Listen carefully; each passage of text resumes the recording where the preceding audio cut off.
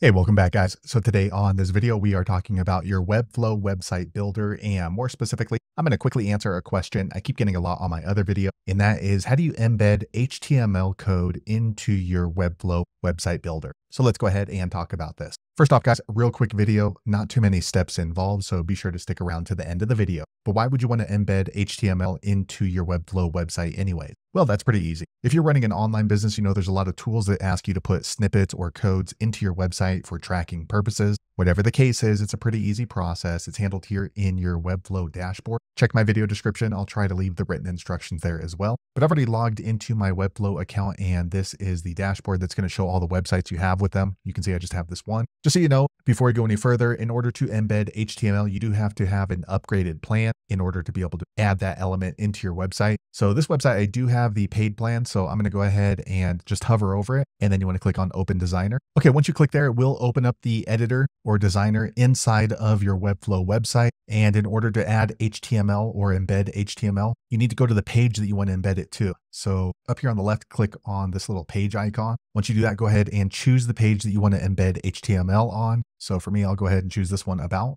Okay, once you've done that, so you need to go ahead and scroll down to the section that you want to add the HTML to. Oftentimes, when you're embedding HTML code into your website, it's not going to be visible, so it's not really going to matter too much. But for me, let me go ahead and just add it here. And then here on the left, you want to click on this plus icon. Once you do that, make sure that elements is in black and layouts is in gray, as you can see mine is. And then you just want to scroll down until you see the advanced section. It's going to be right down towards the bottom. Okay, so once you get there, you're going to see this button here called Code Embed. That's how you can embed HTML into your Webflow website. So you're just going to grab this little button and just drag it on over. And then it's going to be dropped where you see a blue line. So for this, it's going to drop right there. Okay, once you do that, then you're going to go ahead and paste in the HTML embed code here. Now this code you're going to receive from your other software or tracking company. Once you've added in the HTML code, be sure to click on save and close. Once you've clicked on save and close, the embed code is going to be here and it's not actually going to take effect until you click on publish here on the top right. Once you click on publish, click on publish to selected domains.